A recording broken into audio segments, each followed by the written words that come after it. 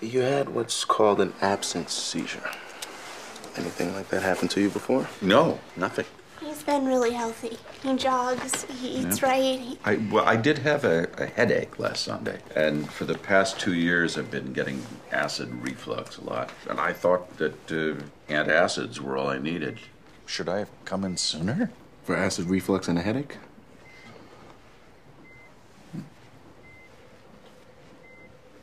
I, you know, I hear the coffee downstairs is really good. C- could you give me a cup, honey?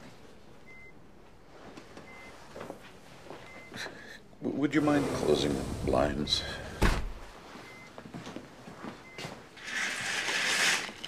His right testicle was almost twice as big as his left. Cool. It's probably testicular cancer. No, that's impossible. The symptoms all indicate his shoes aren't right. Here's how testicular cancer would manifest itself. First, the patient would get the exact symptoms that he's got. Then Foreman would examine him. Then he'd suspect testicular cancer on account of the symptoms being so perfect. Then he'd stick a needle in it. Then he'd call a surgeon. And while that guy operates, the rest of us would be out bowling.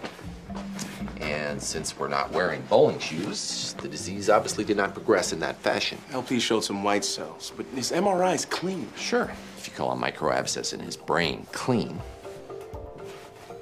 But you don't trust me? Are you talking about the left temporal lobe? Neat. You can see through my hand. It's just a shadow. Or it's an infection. When guys have brain crotch problems, it's usually the result of using one too much and the other too little. Blood and urine were negative for syphilis, gonorrhea, and chlamydia. So treat him for all three. Stat. Um, negative means he doesn't have it. No, negative means he probably doesn't have it, which means he probably has cancer. I thought we were wearing the wrong shoes for cancer. We're wearing the wrong shoes for testicular cancer. They're perfect for lymphoma, except Chase's, they're just goofy. Lymphoma could cause infiltrates in his reproductive organs and his brain. If it's this advanced, he's dead no matter what we do. So give him the STD meds, and I hope the tests were wrong. We think you may have a sexually transmitted disease. No, it's not possible. Sir, maybe we should speak in private. Have you tested him for this? The tests were negative. Well, then it's not that. So, what else could it be? Nothing good. If you've been having sex, you have to tell me.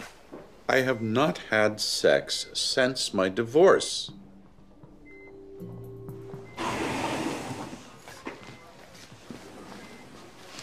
Hi, I'm Dr. House. I hear you'd rather die than admit you had sex. I'm sorry, I couldn't tell my daughter. Right, because she's, what, 22? I slept with her mom. She probably knows that's happened already. Roll over. My wife had an affair. I forgave her. She had another affair, and I forgave her again. Amy thinks I was an idiot. So smart. You must be very proud. Roll over. I assume that you've been in love. Is that the one that makes your pants feel funny? I'm starting you on a cocktail of STD meds. Amy is just getting over it. She barely spoke to her mom for months. If she thought that it was happening again, that that's why I got sick. I- We just happened to be at the same Italian cheese tasting thing. Cheese is the devil's plaything. Mm-hmm. It was just the one night. Oh, you're obviously completely over her. Amy thinks love leads you to make stupid choices. You're certainly setting a good example for her. Yeah, she just doesn't get it. If you're not prepared to look stupid, then nothing great is ever going to happen, right? On the other hand, I guess your testicles aren't going to explode either. Dad, is everything okay? I have a sexually transmitted disease. How's that possible? He met a woman in church.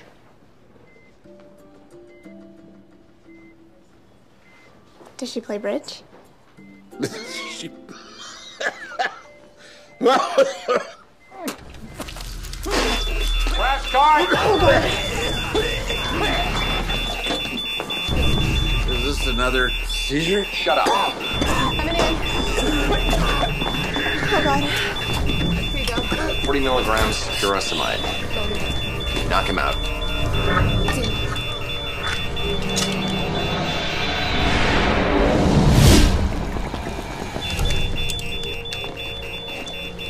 How would an STD do this? It wouldn't. It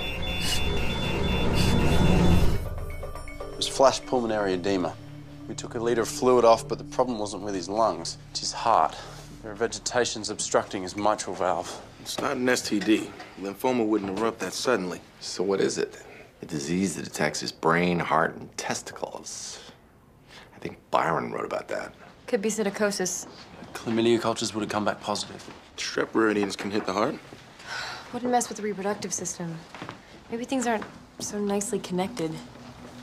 He's 65. We could be looking at multiple systems just starting to break down independently. Way to a man's heart is through his stomach. He's had acid reflux for years. It, it can't be relevant. Seems there are other ways to kill people besides having sex with them.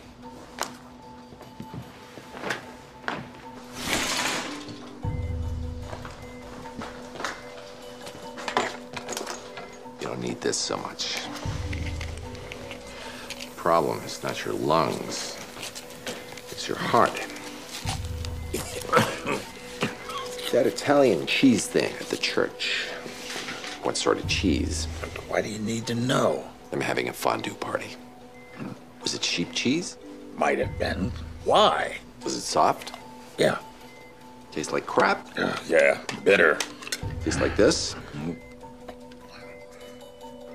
Well, but how did you? That was regular low-fat American. I added some bacteria for flavor. You fed him bacteria? It's pretty much on everything, especially the unpasteurized sheep cheese they make in the Alps. That stuff will give you brucellosis. Key to a long life, exotic women, and boring cheese. I'm gonna start you on rifampin, doxycycline. Doesn't make any sense. I mean, nobody else at the church got sick. 99.9% of Christians have so much acid in their stomach. They become churning cauldrons of death for all those nasty brucellosis bugs. But you were taking antacids for your acid reflux. So that turned your digestive tract into a pleasant scenic river for all those bacterial tourists. He's a prime candidate for transplanting. Doesn't smoke, drinks moderately. His tox screen was negative for illegal drugs and legal ones. Surveillance blood cultures show absolutely no sign of any lingering Brucella bacteria. He's 66 years old. Told me he was 65. Liar. I'm out of here. There is an inverse correlation between patient age and success rates. He's in excellent health. This was his first hospitalization since breaking his leg at 23. Or 22, I'm not sure anymore. If this patient were to survive the operation, he'd get another what? Five, ten, maybe 20 years if he's very lucky? So you're saying that old people aren't as worth saving as young people? He's saying that hearts are a scarce resource. We obviously have to choose criteria. No, I get it. Women live longer, so they should get preference, right? And African Americans, they die a lot younger, so the hell with them. What, you think you're gonna win me over by calling me a racist? If the test is who gets to use it the longest, you can either be a racist or a hypocrite. Your patient had a life, a family. We've got 18 year old kids who will never. How old are you, Doctor? When do we get to toss you on an ice floe? And thank you, Dr. House. Unless anybody else has any further questions, we will now go into private session. Oh, I'm on pins and needles. I wonder how you'll decide.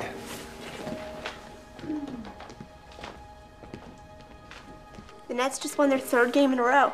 Beat the Lakers.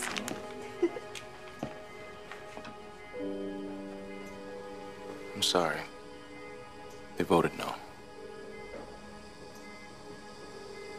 So, when will I die? Might have a week.